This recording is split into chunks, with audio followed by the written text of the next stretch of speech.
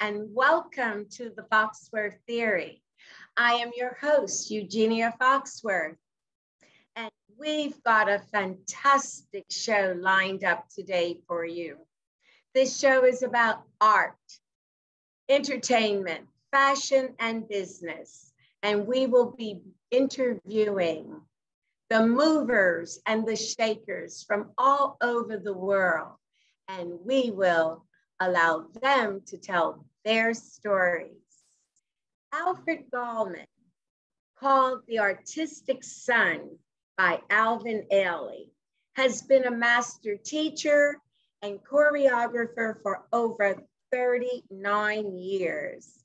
He has worked with the giants in the dance and theater world, including Alvin Ailey, Talley Beatty, Fred Benjamin, Pepsi Bethel, Gary Deloatch, George Faison, Geoffrey Holder, and Mr. Gallman toured with the National Touring Company of the Tony Award winning musical, The Wiz. He was a soloist for eight years with the Fred Benjamin Dance Company, performing in all the largest festivals and venues in the New York tri-state area. Please join me as I welcome Mr. Gallman to the Foxworth Theory. Welcome, Mr. Gallman. And how are you? you? I'm doing very well, thank you. I'm so glad to be here with you. Well, tell us, how did you get started as a dancer?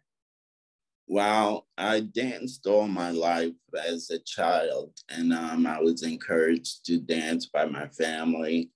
And um, one day I formed a group called the Young Soul Debonaires. There was five fellows who are um, like-minded, and we choreographed and danced throughout the city.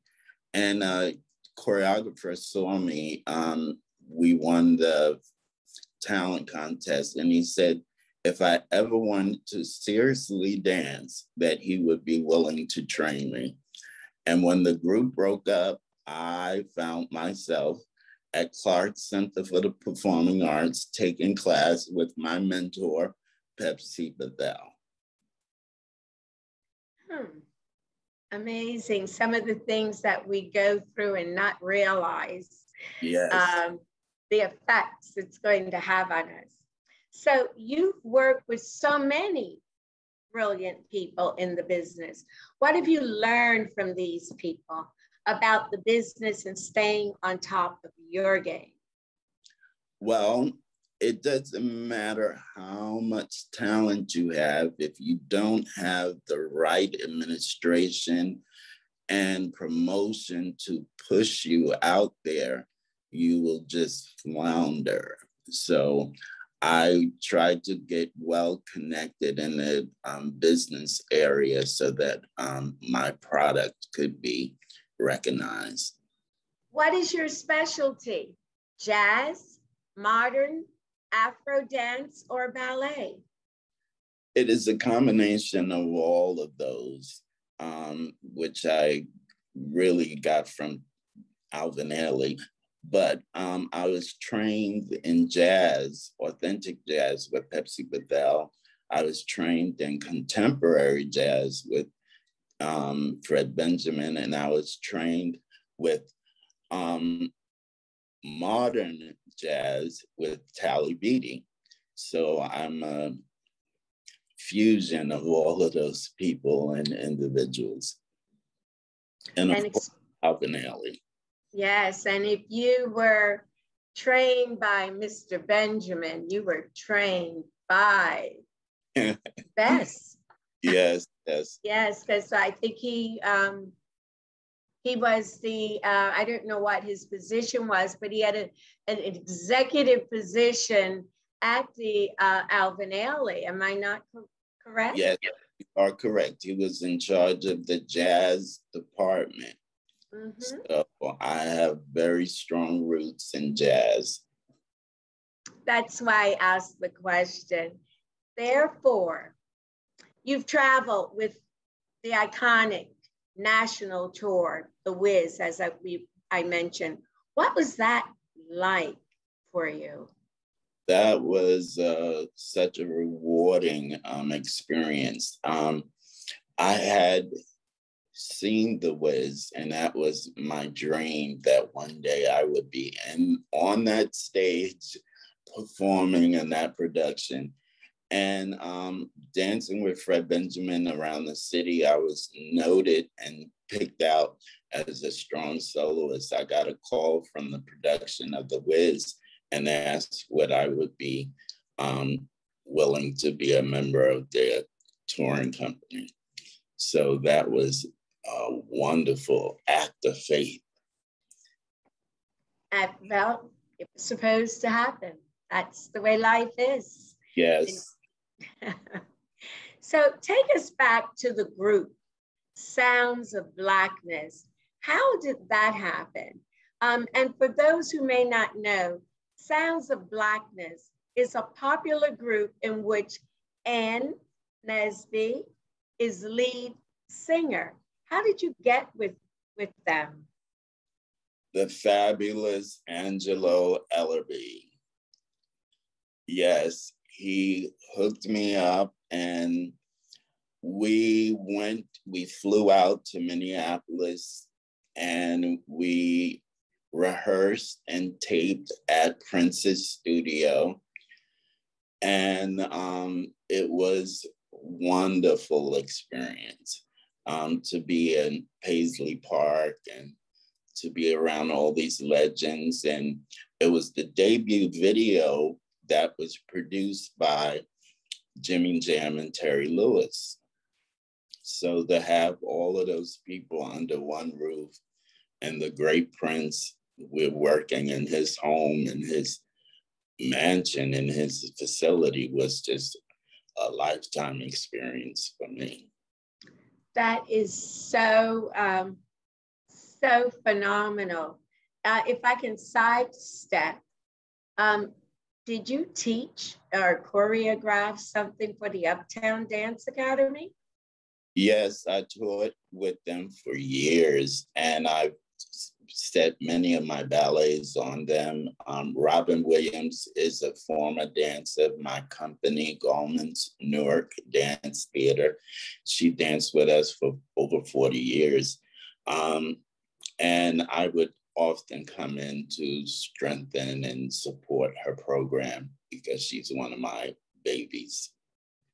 I was on her board when Prince gave the quarter of a million dollars Wonderful. when she danced at the Apollo.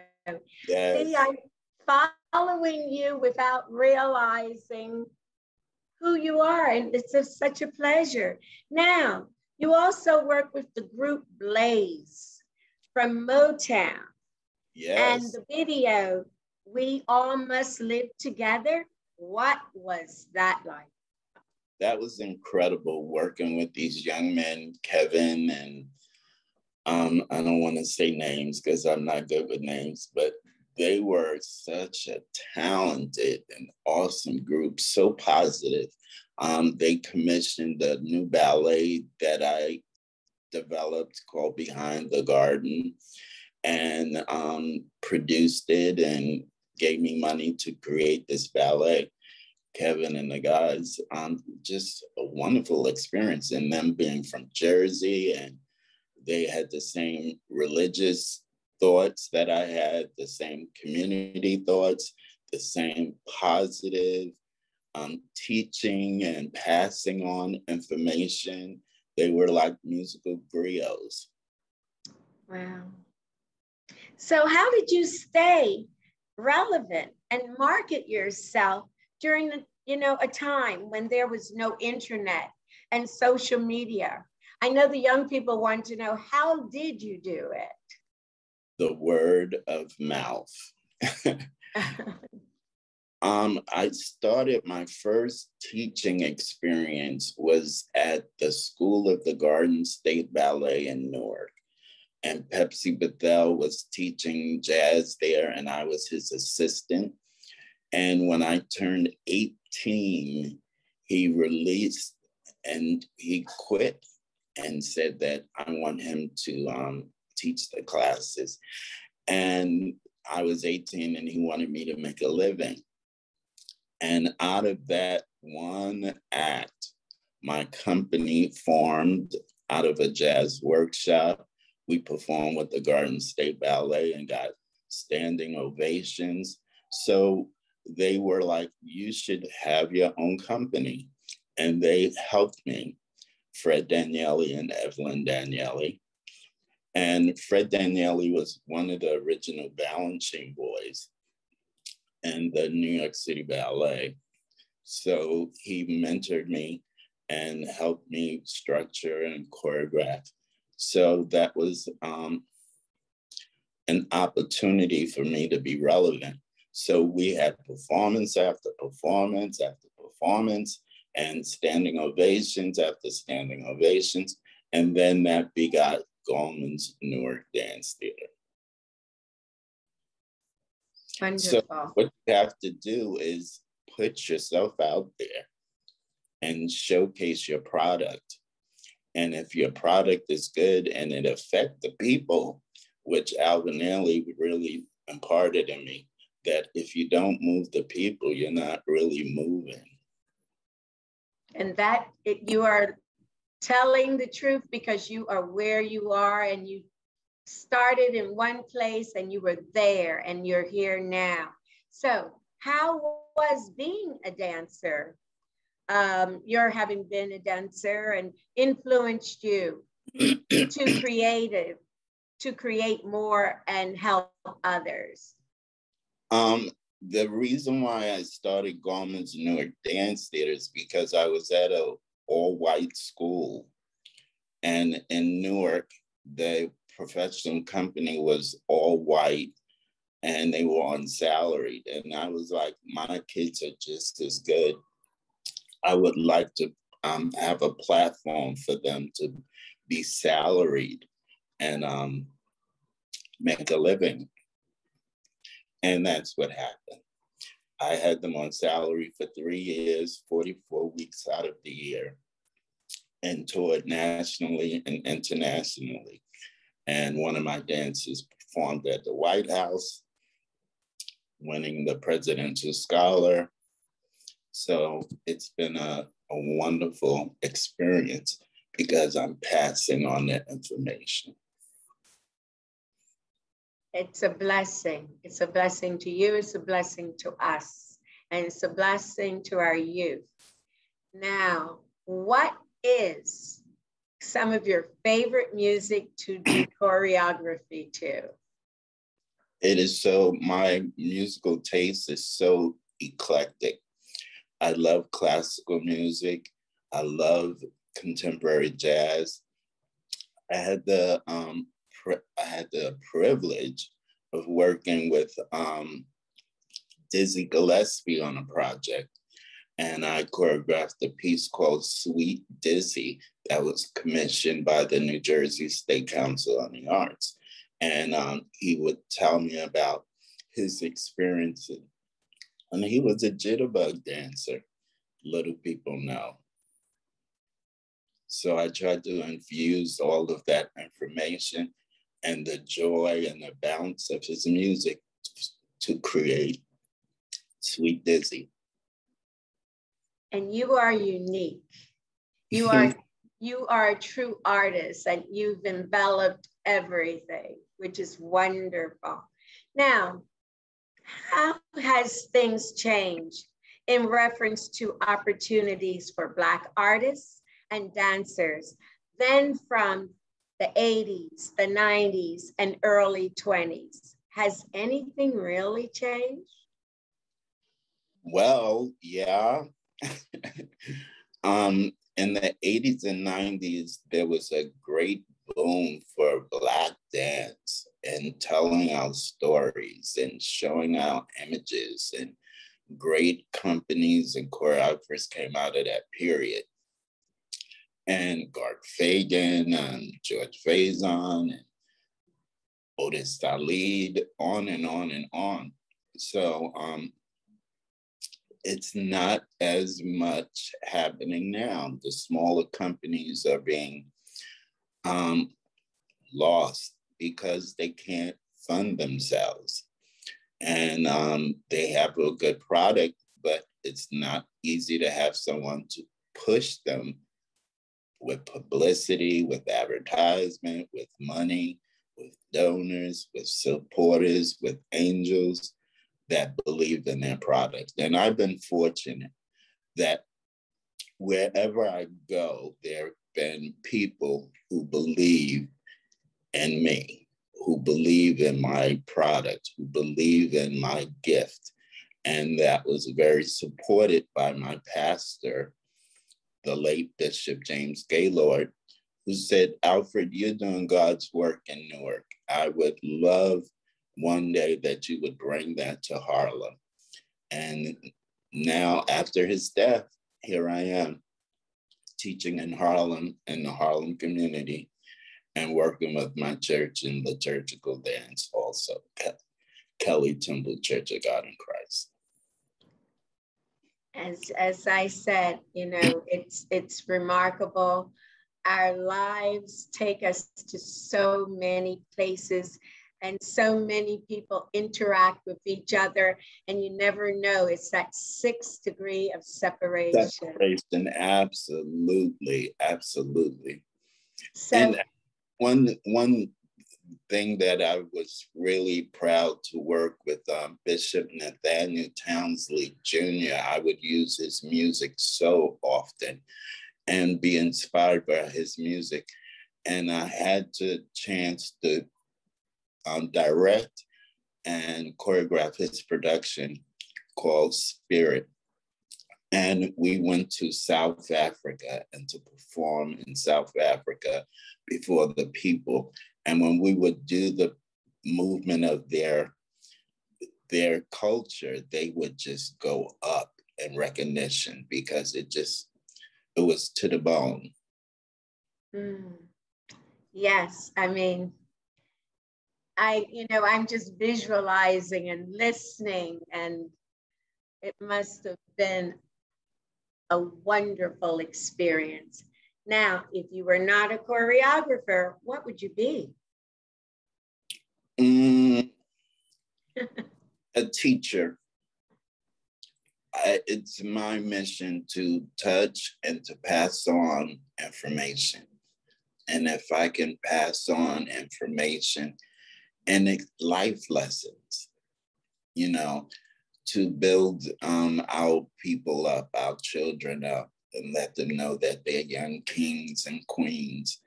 Whatever I do, it would be in the manner of teaching of some sort, mentoring of some sort. But you are a teacher now. Yeah. You're a mentor now.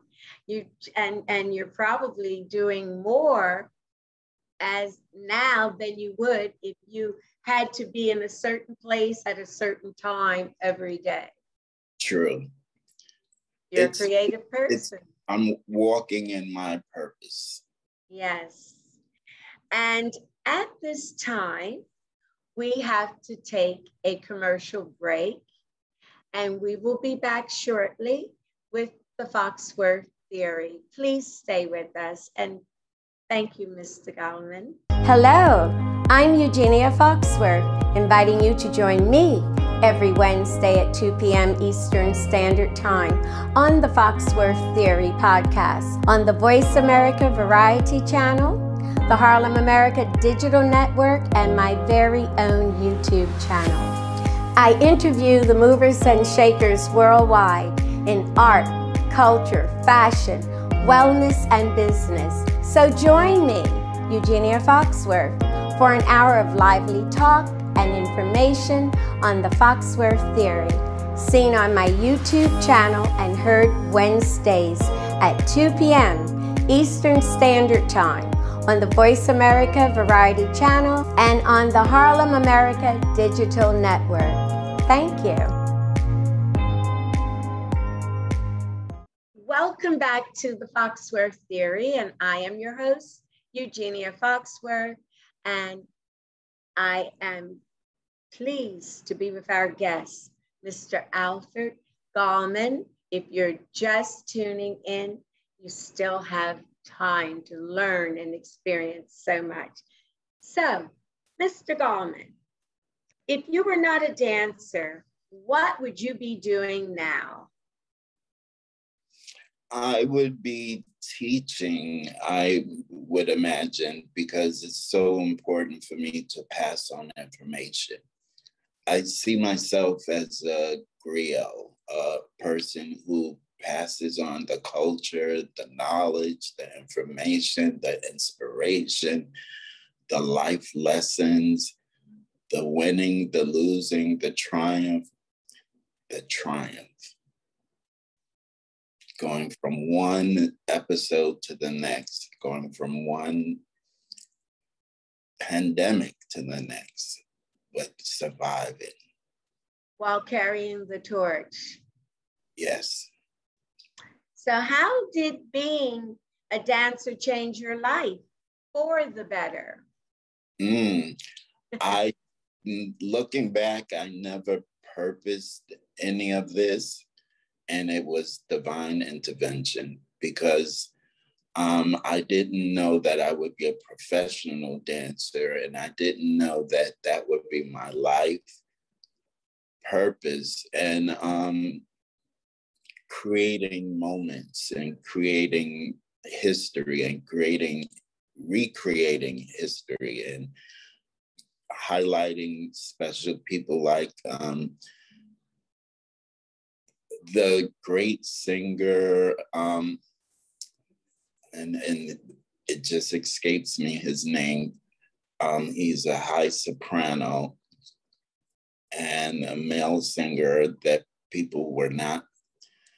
They would think that he was a female because of the high range of his voice and um, just a, a wonderful story. He had from a family of 10, little Jimmy Scott. Oh. The jazz legend. He gave me his memoirs. We became very good friends. We um, worked together at Newark Symphony Hall. And his story is so iconic of triumph over darkness. Mm losing his mother in a car accident and his siblings being separated at a young age, all 10 of them. And then for him to find his way in life and people, because he had a disease, not a disease, but a ailment where his testicles did not descend. So he had this high, incredible voice and people thought he was a female, but he was a male. And he had four wives and yeah, and lived this um, incredible life of triumph and tragedy. And um, he was honored in his later years and with um, people that really loved his voice. Um, um, all the great female singers pattern themselves, Billie Holiday and um, Sarah Vaughan, and they pattern their voice stylings after him, Nancy Wilson.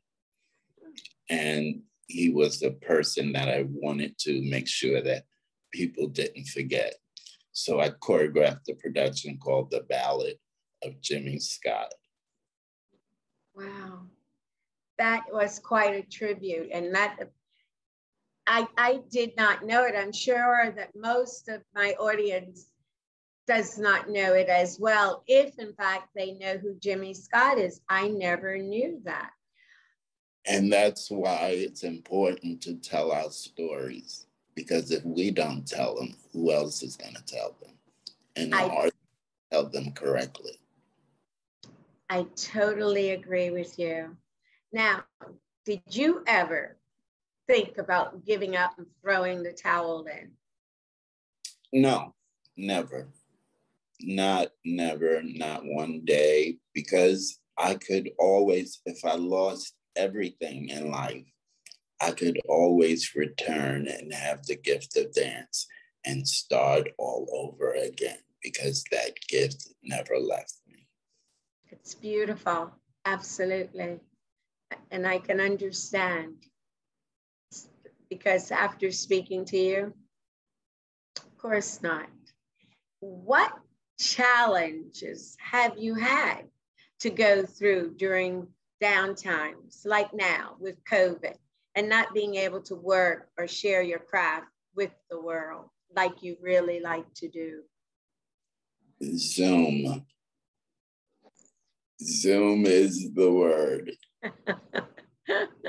you would get people one on one, not mass classes, affect the life in 45 minutes with a private private class, private instructions, so that um, you can develop their the spirit within them.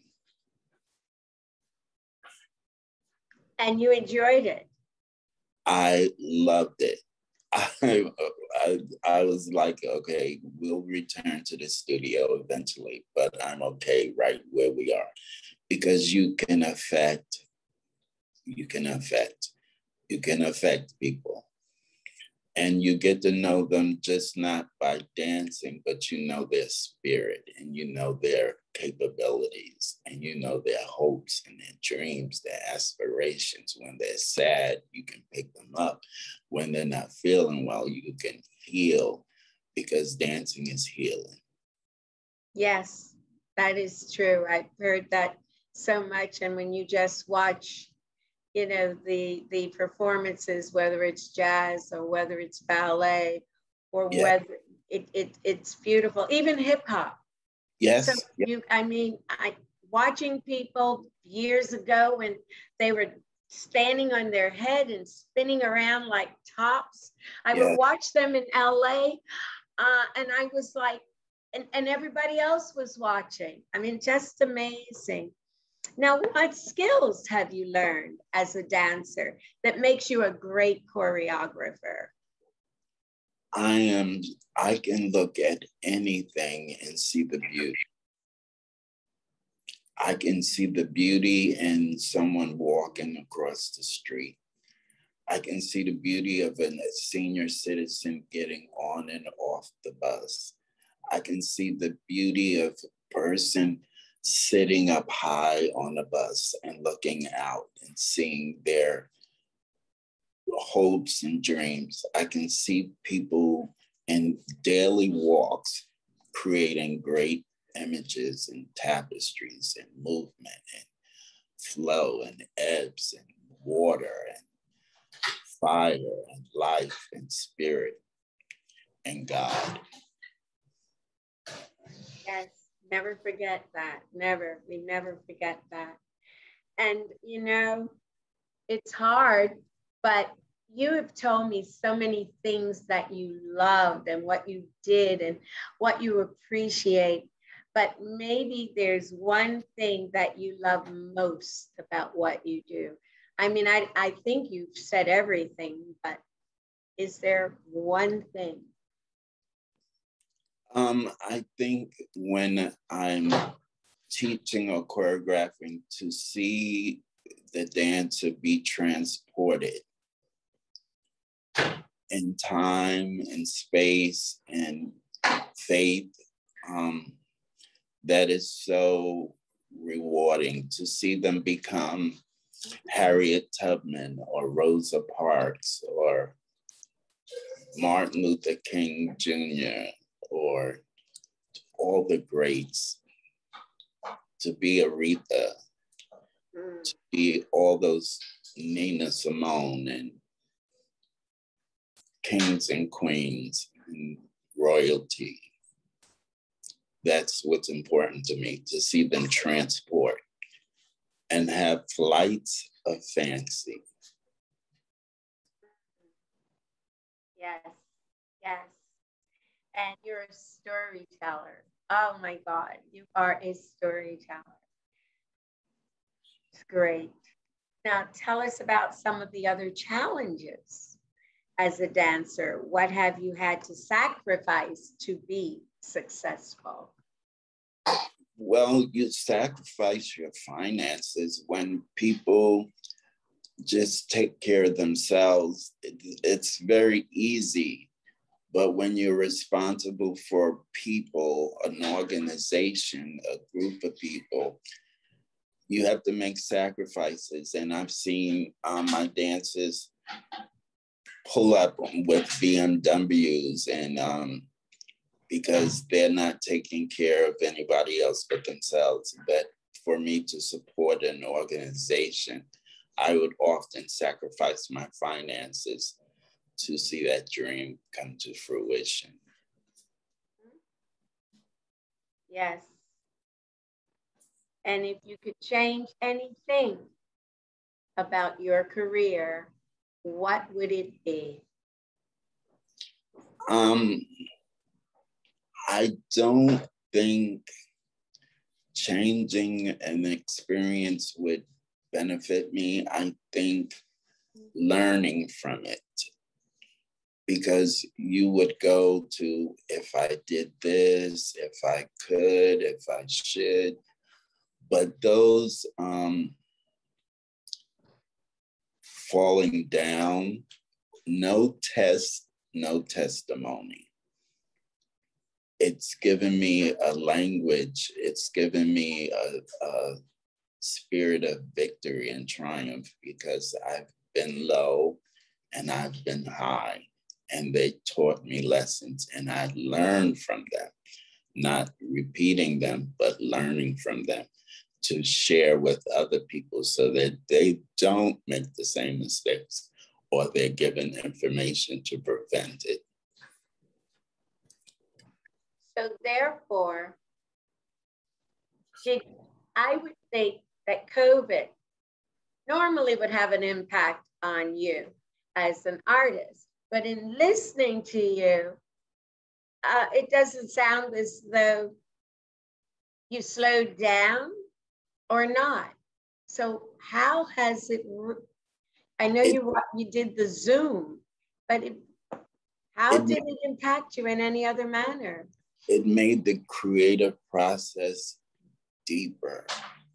So when I listen to music, I can have more of an effect. When I listen to poetry, when I listen to great speeches and great leaders, I can share with a deeper color, deeper color, deeper fabric.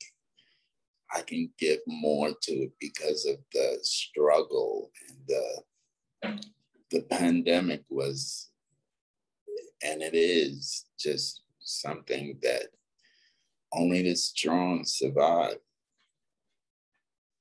And what worries me is um I had um we're we're performing at the Montclair Museum and there's a new policy now that you have to be tested. You have to be um, shown that you don't have the the COVID nineteen. Um, so it's important that the young people realize the struggle that we're in because they they just don't want to get vaccinated. They don't want to get tested. And that cut down my dances tremendously because they were not aware and they're not educated in the science, which is horrible. I am so glad to hear you say this because um, I've had conversations with people and young people, and I am astonished when we did digital and they would say, oh, well, you know, you don't know how to do this. But right now, I'm astonished because our kids are, have more tools to work with. Yes. And they're not listening to us, the art of not, science. Not listening and have their own minds and just falsely guided. I just, that truth is not nowhere near them. No. They, these theories and this misinformation is so disturbing. But we pray. Yes, we do. And at this time, we have to take another commercial break, but we will be back to the Foxworth theory very shortly. And thank you for waiting and returning to us. Hi, I'm Eugenia Foxworth, the host of the Foxworth Theory podcast, wishing you all a happy and a safe holiday season. Be sure to view me every Wednesday at 2 p.m. Eastern Standard Time on the Foxworth Theory podcast, heard on Voice America Variety Channel, the Harlem America Digital Network, and seen on my very own YouTube channel, The Foxworth Theory.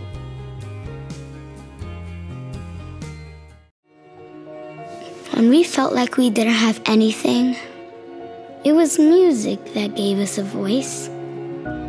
We could tell each other in a song what we couldn't say in words. Learning music changed us, making us even smarter. We learned to harmonize together. And now we can go anywhere, anywhere our dreams take us.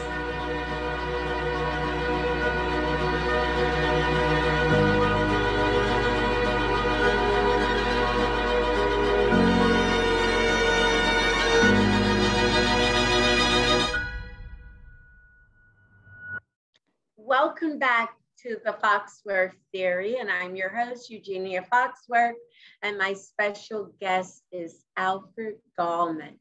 And I hope that you are absorbing everything that you're hearing today. What challenges have you had to go through during downtimes, like now with COVID, and not being able to work or share your craft with the world? like you really like to do? Zoom. Zoom is the word. you would get people one on one, not mass classes, affect the life in 45 minutes with a private private class, private instructions, so that um, you can develop their the spirit within them. And you enjoyed it. I loved it. I, I, I was like, okay, we'll return to the studio eventually, but I'm okay right where we are because you can affect, you can affect, you can affect people and you get to know them just not by dancing, but you know their spirit and you know their capabilities and you know their hopes and their dreams, their aspirations. When they're sad, you can pick them up. When they're not feeling well, you can heal because dancing is healing. Yes, that is true. I've heard that so much. And when you just watch you know the the performances whether it's jazz or whether it's ballet or yeah. whether it, it it's beautiful. Even hip hop. Yes so you i mean i watching people years ago when they were standing on their head and spinning around like tops i yeah. would watch them in la uh, and i was like and, and everybody else was watching. I mean just amazing now, what skills have you learned as a dancer that makes you a great choreographer? I am, I can look at anything and see the beauty. I can see the beauty in someone walking across the street. I can see the beauty of a senior citizen getting on and off the bus. I can see the beauty of a person sitting up high on the bus and looking out and seeing their hopes and dreams. I can see people in daily walks creating great images and tapestries and movement and flow and ebbs and water and fire and life and spirit and God. Now, Mr. Gallman, what's yes. next for you? I would love to choreograph something that is so deep in my spirit that will have an effect on people to change their minds about the current state that we're in. Politically, so divided, emotionally, so divided, um, family structures, so divided. I want to do a piece that can heal those sin sick souls, those wounded souls, those forgotten souls. So, as a reflection of the pandemic, I would love to do a piece called Heal. Mm. And I know you're going to do it. What would stop you? and it's important that you have the the right dancers to really pour into right you you would and you know the the um the things that you're saying is a part of my heart when i mentioned to you the uptown dance academy you're familiar some of those children would never be dancers, but there are those who are now dancing in some of the um, prominent companies. Yes, all the prominent companies all around. ABT gave one of the young ballerinas a scholarship. And that's what I liked about Robin and what she did for the children. And when she did the Black Nutcracker and we were able to do it at the Apollo, yes. I called everybody I knew. And, you know, they were selling the tickets to the kids for $10. Bus loads were coming in from all over. But see, that's your spirit, what you do. And, and yeah. people don't understand. And I'm so fortunate because my dances is going to be on Broadway. I mean, there's dances that I've trained that are in The Lion King, that are in West Side Story, that are in The Temptations, that are in um, all the musicals that are up.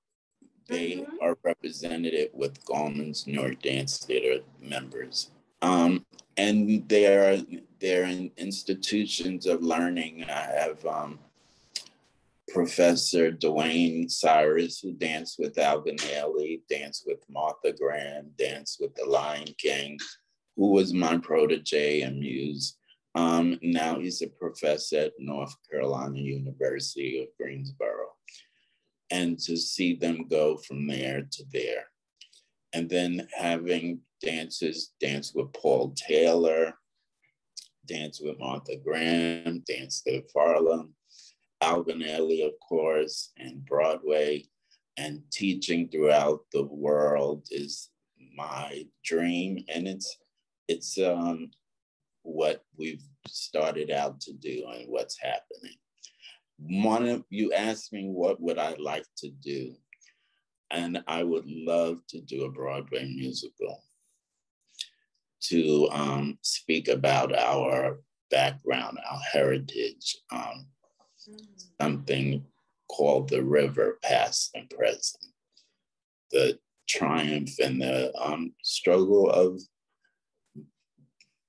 African Americans coming from Africa to America and going through to today and showcasing the times and the struggles and the wins, the loss in a way that people can enjoy the storytelling, but learn.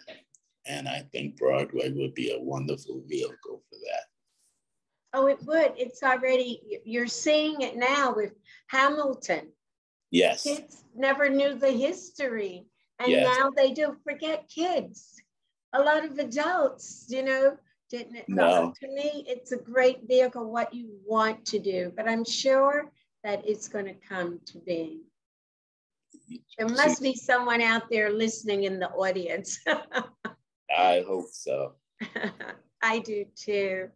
And um, I guess you really answered one of the questions I was going to ask you as what do you want the world to know most about you?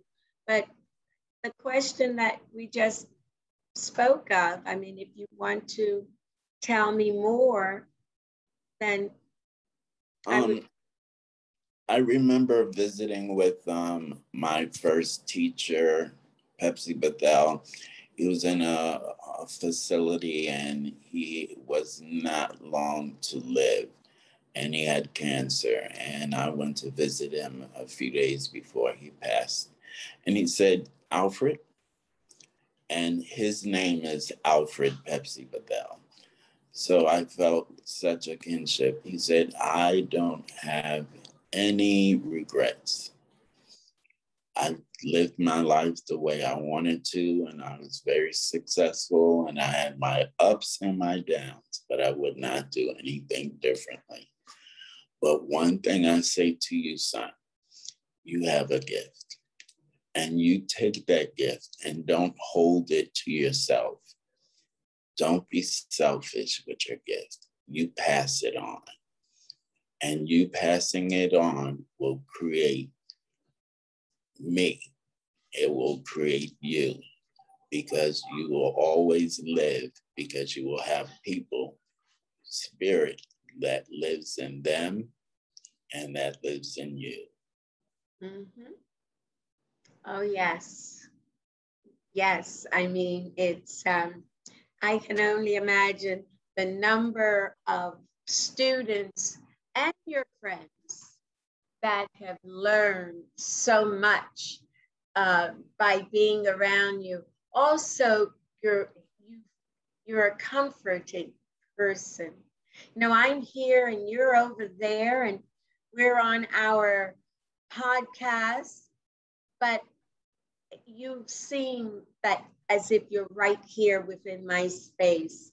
And um, As I am, yeah, it- the spirit can go everywhere.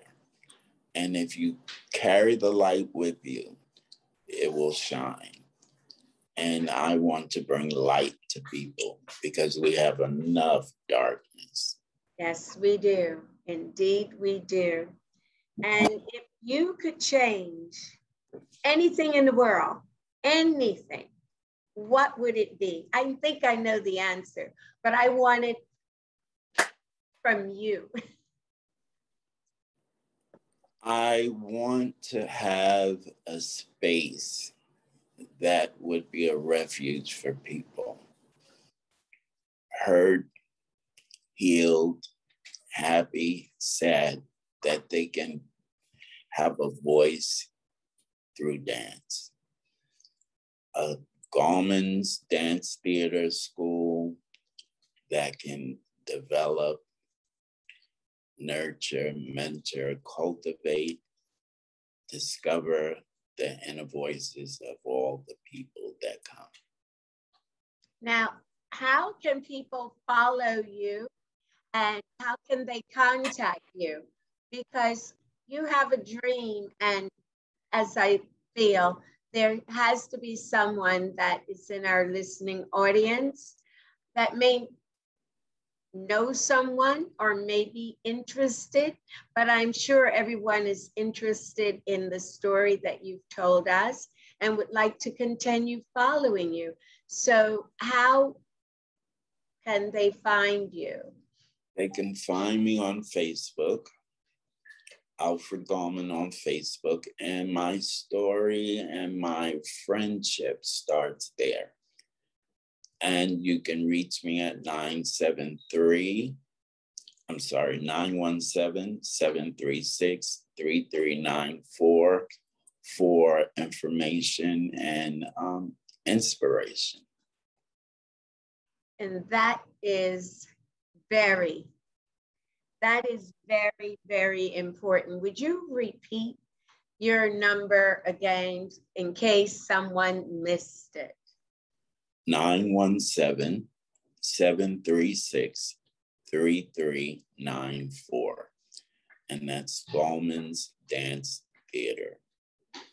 And we are now um, housed at Faison's Firehouse Theater, where I'm teaching classes on Mondays and Saturdays to children, teens, and adults at all levels ballet, pointe, jazz, liturgical dance, male dance, stretching, choreography, and improvisation. I was ready for you to say that because as I drive by on 124th Street, West 124th yeah. Street, yeah. I, I said, hmm, he didn't mention he's teaching there. So I'm glad I asked you that question. I'm glad it also. and at this point, I would like to thank you so much, Mr. Gallman, for being here and telling your story to my audience on the Foxworth theory. Thank you so much. And I'd like to thank our audience. I'd like to thank our team and the Harlem America Digital Network and Voice America. And I wish everyone a beautiful day and stay safe. And thank you, Alfred Gallman. Thank you so much. Dancers Against Cancer's mission is to create an alliance in the dance community that provides financial support and inspiration to dance educators, choreographers, dancers, and their families who have been impacted by cancer. The I'm a Dancer Against Cancer campaign was founded in 2012 in response to the loss of a young dancer from cancer. Since then, it has become a beacon of hope in the dance community, uniting dancers all over the nation in 2014, Dancers Against Cancer became an official 501c3 to continue to provide financial assistance to dance educators, dancers, and family members impacted by cancer. To date, DAC has proudly raised over $2 million in donations that directly benefit those in need. Dancers Against Cancer has proudly donated over $4 million to dancers, teachers, and parents within the dance community battling cancer. These donations assist families with paying their medical bills, insurance coverage, dance tuition, and more. DAC is also a proud ally of many cancer related charities. Some include the Olivia Newton John Cancer Wellness and Research Center, as well as Right Action for Women. DAC Hope Studios are a great way to get your studio involved in fundraising. An annual donation of $1,000 is required to become an official Hope Studio. The support from dancers and dance studios has been essential in helping many individuals battling cancer. Our goal with Hope Studios is to create a community of support for our dance families going through a difficult time. To become a Hope Studio, visit our website for more information. So, how can you help? You can raise money for Dancers Against Cancer by purchasing any of our merchandise at KAR and rainbow dance competitions, as well as on our website. You can also do a one time or recurring donation on our website at I'mADancerAgainstCancer.org. If you have any questions, you can ask your competition director or visit our website's contact page. Dancers Against Cancer is grateful for the support of the dance community, and we will continue to make a difference in the lives of dancers fighting cancer.